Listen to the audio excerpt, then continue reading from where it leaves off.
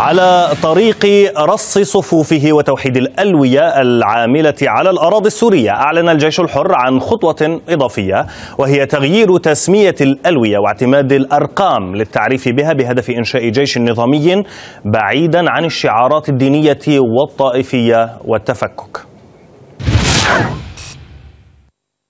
يلا اتكلوا على اتكلوا على الله. استكمالا لقرار توحيد صفوفه أعلن قادة في الجيش الحر اعتماد الأرقام لألوية الجيش بدلا من الألقاب بهدف خلق هيكلة جديدة موحدة وبعيدة عن أي إشارات دينية أو طائفية أو جغرافية قد تسمح بتفكك نواته في المستقبل. نحن الفرقة 90 العاملة ضمن ترتيب قيادة الجيش السوري الحر الموحد في المنطقة الجنوبية.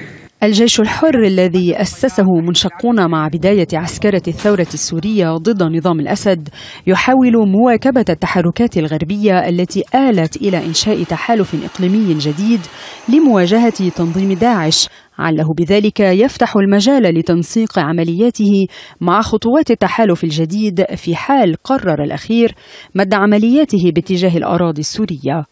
نعلن عن تشكيل القيادة العسكرية الألوية المعارضة التي تحارب في المنطقة الجنوبية كشفت عن أرقامها الجديدة على لسان قائدها العميد إبراهيم فهد النعيمي الذي علل الخطوة بأنها ضرورية من أجل إنشاء جيش موحد ونظامي بعيدا عن العنصرية والتفكك. نحن القيادة العامة للجيش السوري الحر الموحد. ردا على الإشاعات السارية التي تقول إن هذه التشكيلات وهمية ولا صحة لها. أكد النعيم أنه سيتم تصوير قادة الفرق والألوية بالصوت والصورة لبثها على صفحة التشكيل. وأكد النعيم أن يد الجيش الحر ممدودة للجميع دون تفريق وأن باب الانتساب مفتوح لكل الكتل العاملة على الأرض السورية. نقولها من هنا ومن أرض الميدان ومن معاناة شعبنا المضطهد إن يدنا ممدودة للجميع أفراد وجماعات.